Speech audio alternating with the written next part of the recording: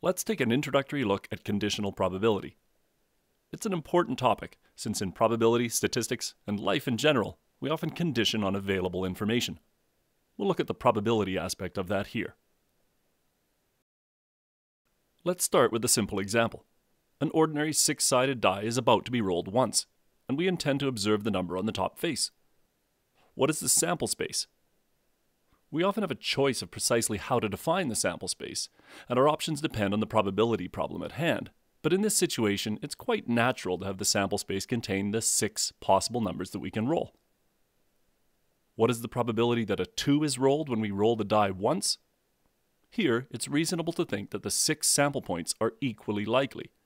As long as it's an ordinary die, and we're rolling it fairly, then that's a reasonable assumption to make since exactly one of the six equally likely sample points is a 2, the probability of rolling a 2 is 1 out of 6. Here's a slightly different scenario.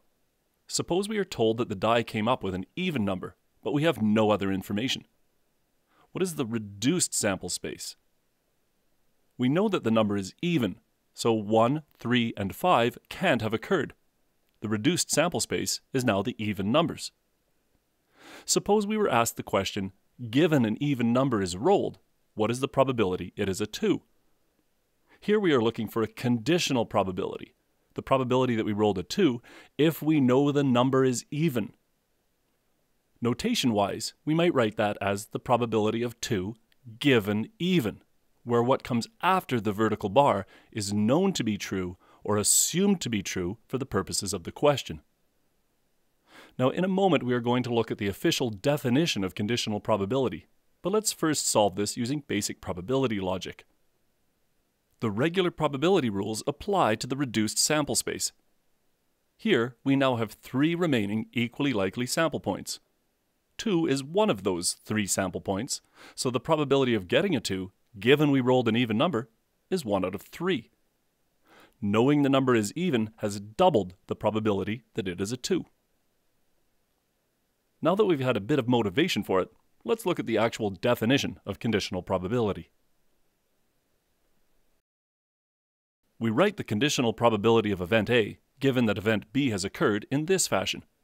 Again, anything to the right of the vertical bar is known to have occurred or assumed to have occurred the conditional probability is defined to be the probability of the intersection of A and B over the probability of event B. The probability of the intersection over the probability of what we are taking as given. We do have one restriction we need to put in to shore this up mathematically. This formula won't work if the probability of event B is zero, since we would run into a 0 over 0 issue.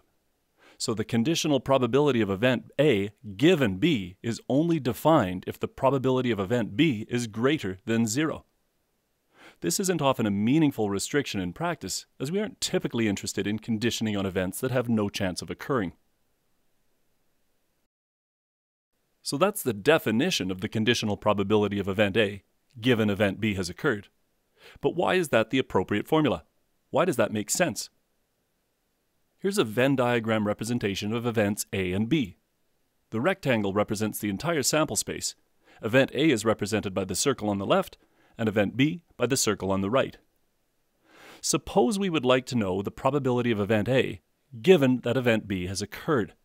We are given B has occurred, so that reduces the sample space down to just event B, just the circle on the right. That is what our universe has been reduced to.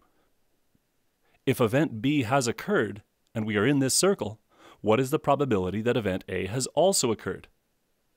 Event A shares this green region with event B. That's the AB intersection. So if we know that event B has occurred, and we'd like to know the probability that A has also occurred, that will be the probability of the intersection of the two events over the probability of event B, the reduced sample space. So the conditional probability definition is consistent with our intuitive notion of what a conditional probability should be. Please do me a small favor and don't try to memorize the definition of conditional probability, and instead try to understand the logic behind it. If you're able to do that, you'll never forget it. Let's work through a few examples. Back to die rolling and consider these two events. A, the event that we roll a 1, 2, 3, 4, or 5, and B, the event we roll a 3, 4, 5, or 6. Recall that the sample space consists of these six equally likely numbers. What is the conditional probability of event A, given that event B has occurred? It's often easier to think logically through the problem rather than jumping straight to the conditional probability formula. The formula always works if applied correctly, but it's often easier to simply think the problem through. So I'm going to do that here, then we'll work through the formula. Here, we are assuming event B has occurred, so the reduced sample space is event B, the numbers 3, 4, 5, and 6. Within event B, the numbers 3, 4, and 5 are also part of A. The four sample points in B are all equally likely, so the probability of event A, given event B has occurred, is 3 out of 4. Working through the formula will yield the same probability, and let's see how that works. The conditional probability formula tells us that the conditional probability of A given B is the probability of their intersection over the probability of what we are given, event B. The denominator is often straightforward to find. In this case, the probability of event B is simply 4 over 6, since we're dealing with equally likely sample points. For the numerator, A intersect B is the numbers 3, 4, and 5, since those occur in both A and B. The probability of the intersection is 3 out of 6, and thus the probability of A given B is 3 over 6 over 4 over 6, which is 3 quarters. This is what we got above using a little logic. Note that the unconditional probability of event A is 5 over 6, since A contains 5 of the 6 equally likely sample points. The knowledge that event B has occurred, that the number is a 3, 4, 5, or 6, has reduced the probability of event A from 5 over 6 to 3 quarters. Now let's look at a simple example where the sample points are not equally likely. Suppose that a certain simple lottery has these payouts for a $1 ticket. Most of the time we lose our money, sometimes we get our money back, and occasionally we make a profit. And suppose we're interested in this question. Given the payout is more than a dollar, what is the probability it is $10? Before going to the formula, let's work through this one quickly. If we know the payout is more than $1, 0 or 1 can't have occurred, and that reduced our sample space down to these two possibilities. If it's one of these two possibilities, what is the probability it's $10? Just the probability of $10 over the sum of the two probabilities. So if we know the payout is greater than $1, there's a 90% chance it's $10.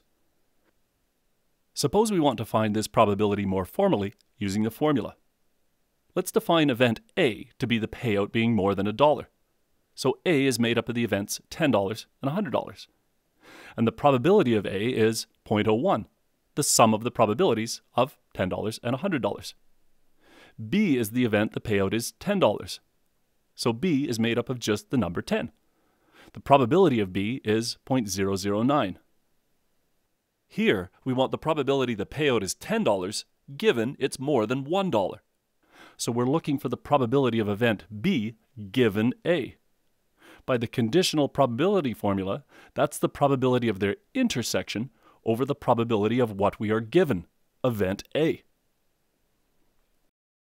Where do these two events intersect? Only at 10, since 10 is the only value that is contained in both A and B.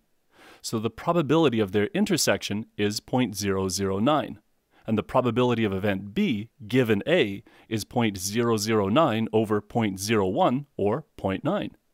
This is, of course, what we found above using a little logic. Now let's work through one more example, as I have one more point I'd like to make.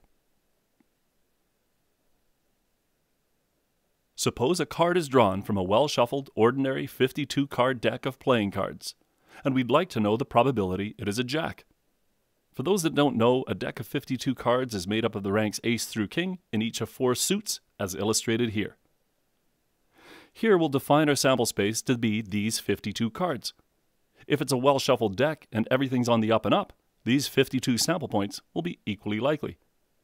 These four sample points are jacks, so the probability of drawing a jack is 4 out of 52, or 1 out of 13. Now suppose we have extra information and we know the card is red. What is the probability it is a jack? Although, again, we could use the conditional probability formula to answer this question, this is a simple one that's a little easier to work through with the reduced sample space argument. So let's do that here. The knowledge that the card is red reduces the sample space down to just the red cards. Among these 26 equally likely red cards, two are jacks, and so the probability that the card is a jack, given it is red, is 2 out of 26, or 1 out of 13. This is the same as the unconditional probability of drawing a jack that we found above, which leads to a very important point. In this example, the conditional probability the card is a jack, given it is red, is equal to the unconditional probability that the card is a jack. Because of this, we say that the two events are independent. Knowing that the card is red does not change the probability it is a jack. If we were betting on the card being a jack, we are indifferent to the information that the card is red.